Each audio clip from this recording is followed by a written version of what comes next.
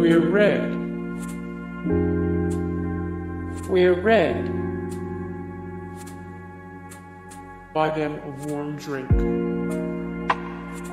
There's something to be said for skipping the bar scene and grabbing a cup of coffee on your next date.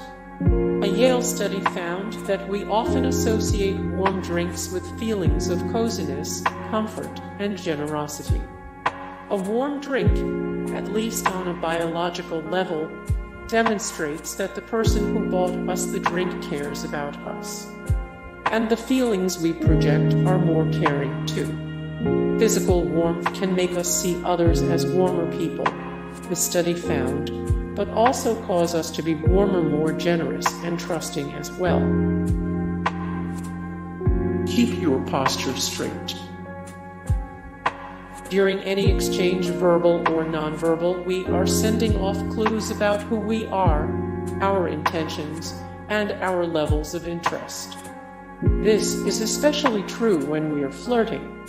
Our bodies broadcast signals before we even open our mouths, so if you are looking to improve your flirting, you want to send the right message.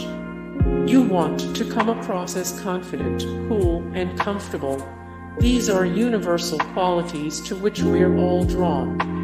The best way to emit these vibes is to keep your posture straight, stand with an erect spine, sit up in your chair instead of leaning over or in, and avoid slouching.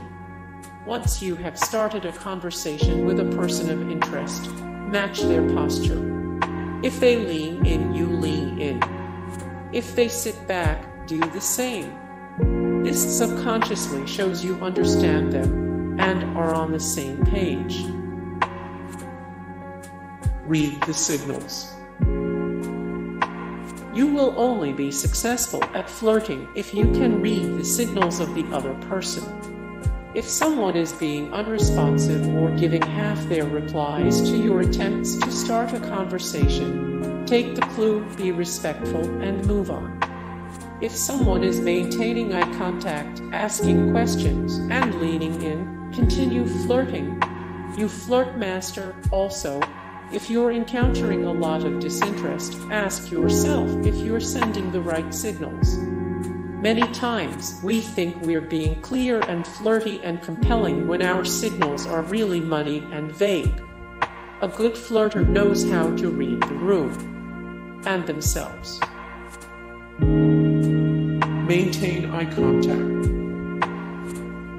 We are visual creatures turned on by visual stimuli.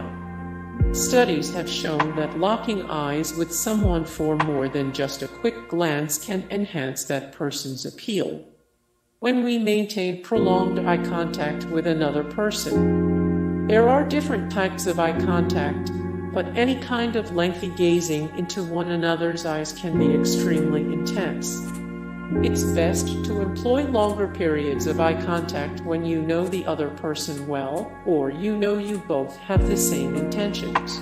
Hey guys, thank you so much for the support and likes and comments down below and also thank you so much for watching and I look forward to see you in the next video then take care. Bye.